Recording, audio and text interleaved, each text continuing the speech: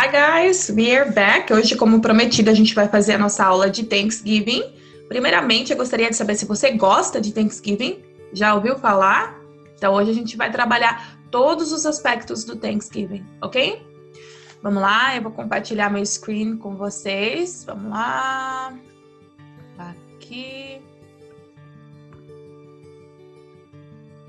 Bom, bom, bom, bom, bom. Vamos lá. Guys, primeiramente, bem-vindos ao meu canal, tá bom? Gostaria de pedir para vocês, se vocês acham o meu conteúdo relevante, que compartilhem com amigos e com pessoas que estão procurando aprender inglês, ok? No nosso canal tem sempre um conteúdo legal, interessante, de forma gratuita que você vai poder assistir. E também lá no meu site, inglescoatitiraline.com.br, tem aquele conteúdo pago que é feito para você está querendo algo mais no idioma, ok? Vamos lá? Happy Thanksgiving to all. Feliz Thanksgiving para todos. Então a gente começa aqui com uma visão bem ampla do Thanksgiving, né? É, a gente começa com a pumpkin, que seria mais ou menos o ícone do Thanksgiving, né? Junto com maçã, junto com uma harvest, com uma colheita abundante, ok? E sobre o que será que é esse feriado americano que eles muito celebram aqui nos Estados Unidos, que é muito cultural e levam famílias a estar sempre juntas ali, como mesmo manda o figurino, aquela mesa farta. Aposto que você já viu em algum seriado americano ou em algum filme, aquela mesa bem grande farta e a família em volta ali comemorando o Dia de Ação de Graças. É isso mesmo. Aqui nos Estados Unidos, o Dia de Ação de Graças, ele é um dia para dar graças a Deus. Não só para aquelas famílias que são religiosas, mas também as pessoas dão graças por todas as bênçãos que elas têm em suas vidas. Isso mesmo, por tudo o que elas alcançaram. Thanksgiving, a time to be thankful. Então, Thanksgiving, ele é uma época de ser grato, ok? Mas como será que começou o Thanksgiving? Da onde será que ele veio? Então a gente começa a nossa história hoje lá com os Pilgrims. Isso mesmo, com os peregrinos. Lá no século 17 tinha um grupo de pessoas chamada Pilgrims e que eles não concordavam com a maneira que a igreja da Inglaterra lidava com, com as coisas religiosas.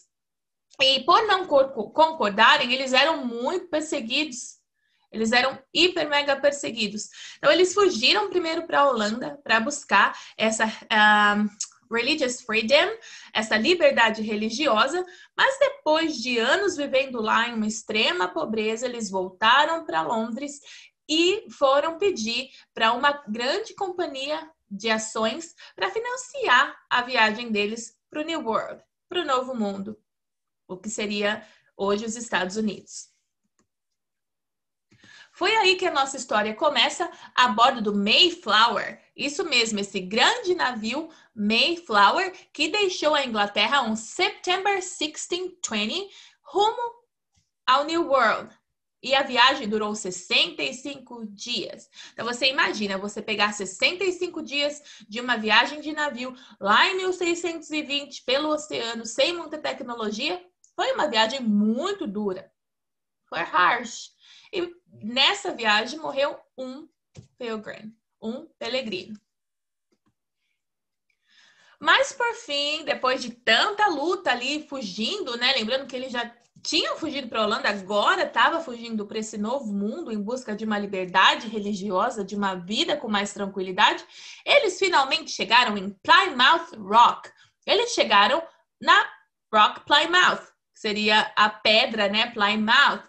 E essa Plymouth Rock, ela fica em Massachusetts. Isso mesmo, é uma localidade em Massachusetts.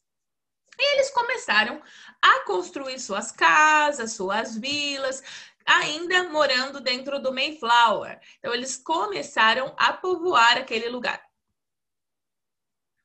Mas aí chegou o que eles chamam de Great Sorrow, da grande tristeza na, no New World, no Novo Mundo, o clima era diferente, as condições de vida diferentes, eles não tinham acesso a coisas que eles tinham na Inglaterra. Então, muitos pilgrims, eles morreram da, do bad weather, do mau clima, né? Então, lá já naquela Great Sorrow, já morreu 46 peregrinos. Quanto sofrimento, né? Os peregrinos alcançaram.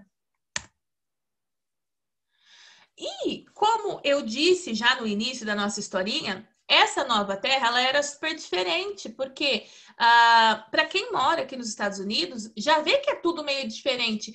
Os vegetais, as frutas, o gosto, o milho aqui ele é mais doce. A cenoura é doce, tem cenoura de várias cores, então é super diferente. E assim como a gente encontra diferença, os peregrinos também encontraram naquela época eles não conseguiam plantar, não conseguiam sobreviver uh, naquela região porque eles não sabiam lidar com a terra, não sabiam lidar com o clima. Foi então que apareceu esse Indian chamado Samoset, que foi até a colônia para ajudar. Ele sabia um pouco de inglês, porque ele já tinha tido contato lá em Maine, com alguns pescadores que ficavam ali. Então ele decidiu ajudar esse povo a não morrer, né, de fome. Então eles estabeleceram juntos um tratado de paz e de trading relations e de relações de troca. Então tudo foi no início, pelo menos, bem amistoso. Squanto e Samset, que é aquele fisherman, eles ajudaram, né, um, os pilgrims a plantarem corn e outras sementes, a como controlar mais ou menos o clima, de acordo ali com a tradição das plantações, da semeadura. Em 1621, em 1621, eles tiveram uma bountiful harvest. Eles tiveram uma colheita muito farta. E aí sim, foi a hora de dar graças, porque eles saíram de todo aquele perrengue e aí eles conseguiram cultivar a terra e aí eles conseguiram uh, experience é, a primeira fartura, né? E aí foi um dia de celebration e o governor William Bradford proclamou um dia de Thanksgiving to God, um dia de ação de graças para Deus. E ele agradeceu a Deus por ter ajudado eles sobreviverem a todo aquele uh, inverno brutal, né? E aí eles já convidaram todos os índios e todo mundo para uma celebration. E diz que mais ou menos 90 índios estavam lá. E as celebrações duraram três dias, assim como o Thanksgiving leftovers, assim como a sobra do nosso Thanksgiving, né? Faz aquela mesa e dura três ou quatro dias na geladeira, aquela fartura de food, ok? E depois veio a seca, drought. Dois anos depois, a colônia novamente veio sofrer uma seca muito grande. Foi aí que o governador lembrou e falou: não, vamos começar a orar, vou fazer um banquete e vamos começar a orar. E depois deles se juntarem ah, nessa oração, pedindo para Deus mesmo, né, mandar a chuva, a chuva caiu, como um miracle. E aí, de fato, para celebrar a resposta de Deus a todavia aquele sofrimento, em November 29th was proclaimed a day of Thanksgiving. Dia 29 de novembro foi proclamado oficialmente o Thanksgiving. E hoje ele é celebrado dois presidentes, né? George Washington, 1789, e Abraham Lincoln, 18, 1863, decided que o Thanksgiving seria toda quarta quinta-feira de novembro. E hoje é celebrado assim, toda quarta-feira, desculpa, toda quinta-feira de novembro. E qual que é a tradition desse dia, né? Olha aí, football game. É uma grande tradition desse dia. E o parade, o desfile da Macy's, né? Que é feito em New York City, que a Macy's faz todo ano, e aí as pessoas desfilam. E os ícones do Thanksgiving é esse piruzinho aí, bonitinho, que tá na tela, entre outros que eu vou mostrar aqui.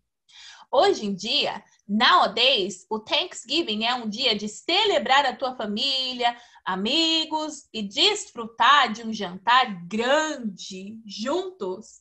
Muitas pessoas dão graças a Deus nesse dia por tudo que eles têm conquistado mesmo se eles não são religiosos. É um dia de agradecer. No jantar de Thanksgiving, não pode faltar turkey, stuffing, mashed potatoes with gravy, sweet potatoes, cranberry sauce, sweet corn, and pumpkin pie. Se você está curioso em saber o que é cada uma dessas coisas, você pode assistir o meu vídeo do Thanksgiving Meal, que eu já expliquei mais ou menos o que é cada uma dessas coisas, ok?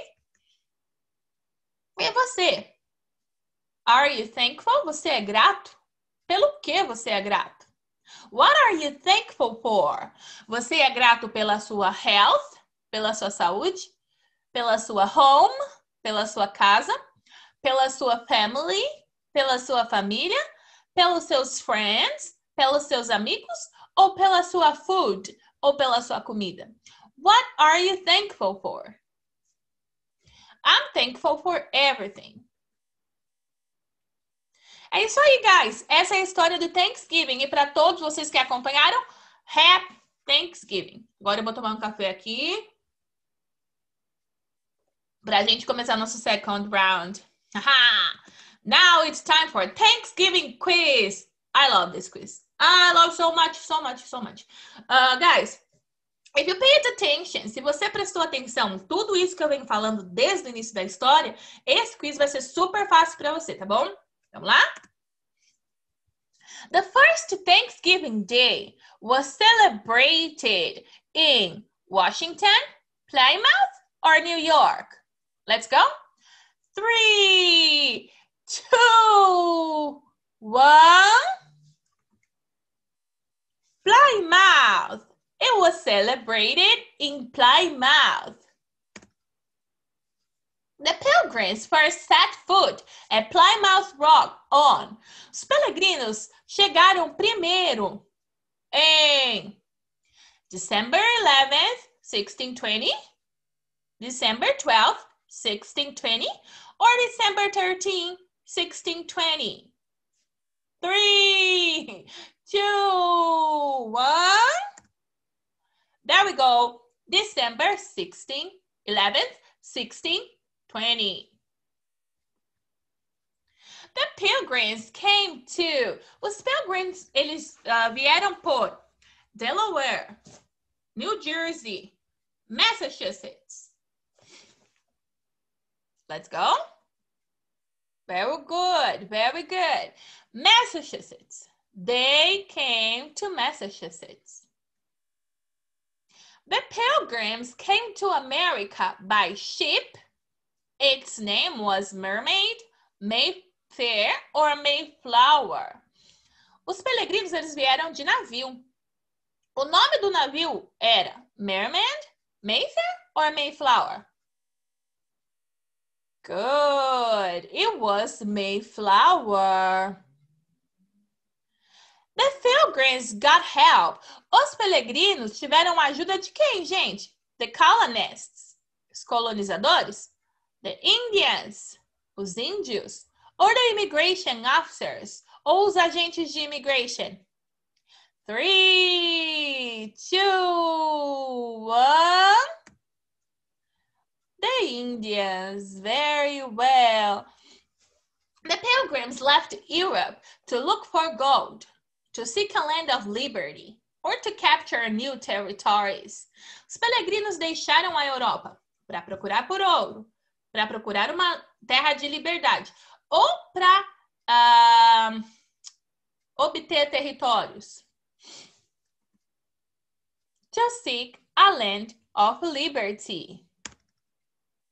A national day of Thanksgiving was proclaimed in 1789 by Thomas Jefferson, Abraham Lincoln, or George Washington. That's it. George Washington. Are you tired yet? No? So let's move on. The last Thursday in November was appointed as a day of Thanksgiving in 1863 by President Thomas Jefferson, Abraham Lincoln, or George Washington? Abraham Lincoln. Good. The primary purpose of Thanksgiving is meet friends and family, express gratitude to God for his many gifts, or to watch football on TV. Qual que é o propósito primário do Thanksgiving? Encontrar amigos e família, expressar gratidão para Deus pelos seus muitos presentes e bênçãos, ou assistir futebol on TV. Express gratitude to God. Muito bem. Moving on.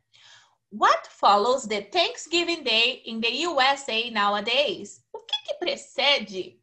Uh, o, que, o que, que vem depois, né, do dia de Thanksgiving nos Estados Unidos? Yellow Friday, Black Friday or Green Friday? Good, Black Friday, que também é aquele dia das compras, né? Everybody go goes crazy buying stuff.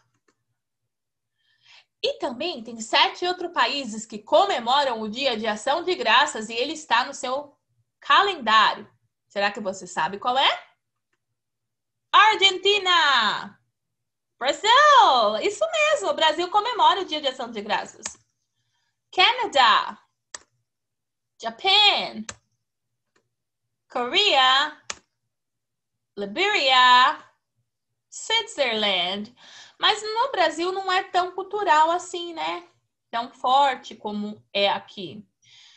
Name the most popular meals on Thanksgiving Day. Então nós temos herb roasted turkey, o turkey assado com ervas, sweet potatoes, batata doce, gravy mashed potatoes, a batata, o purê de batata com aquele molho, né, com gravy, creamed corn, milho cremoso, candied yams. Uh, yams é tipo uma mandioca. Vamos lá. Eu sempre esqueço o nome de yams. É, é tipo uma mandioca, é um yummy, inhame, yummy. Então, inhame doce, almond green beans, os feijões verdes com almond. Almond é tipo uma castanha, tá bom? Cranberry orange relish, molho de cranberry, molho laranja de cranberry, turnip, rabanete. I don't like turnip, but people love it. E popovers with butter. Popovers é uma receita que vai Olha lá. É um rolinho leve feito de massa de ovo semelhante ao pudim Yorkshire. Isso é um popover, ok? Pumpkin pie e a torta de... Olha aqui, uma fotinha do popover para vocês verem. Esse rolinho, tá vendo? E a pumpkin pie a torta de abóbora. Mais pai. A mais pai é uma tortinha assim, olha. Vou mostrar a fotinha.